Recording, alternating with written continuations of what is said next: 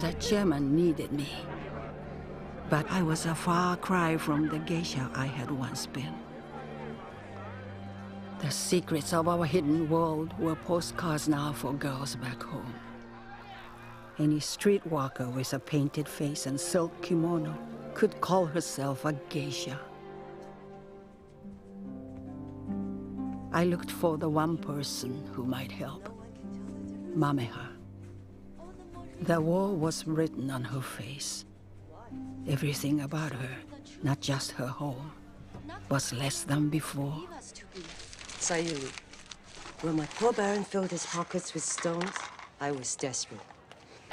What could I do? I sold my kimono. I traded my jade combs for rations. It was painful at first, but I have made my peace. Now, I make a small but tidy living renting rooms. I am not about to go chasing the past. It might do you good How? to remind you that once with a single glance, you could bring a man like the Baron to his knees.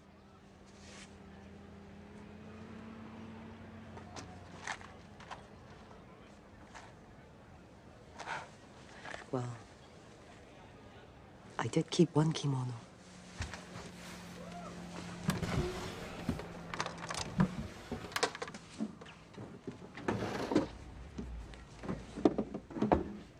The Baron gave it to me when he became my Danna.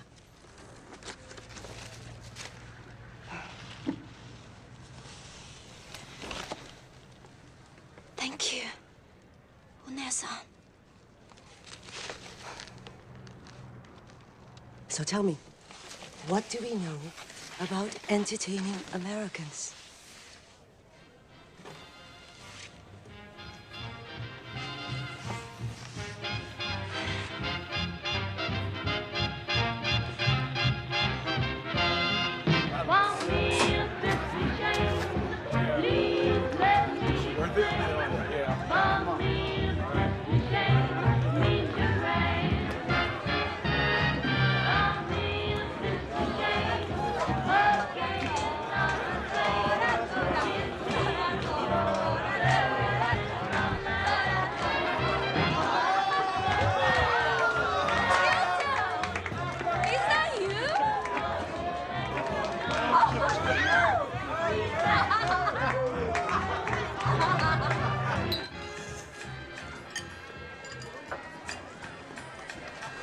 No right to ask favors of you, Pumpkin. I know that. Guess what? I only smoke Chesterfields now. I have wanted to apologize to you for so long about the These Okiya. soldier boys, you know who they've got me singing. It should have gone to you, Frank not me. Sinatra and Dinah Shore. If it is in your heart to forgive me, Sayuri, don't.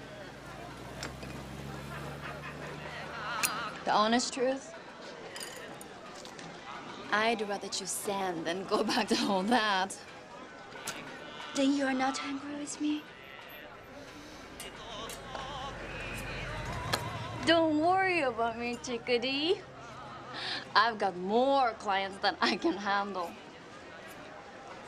You seem so at home with these Americans.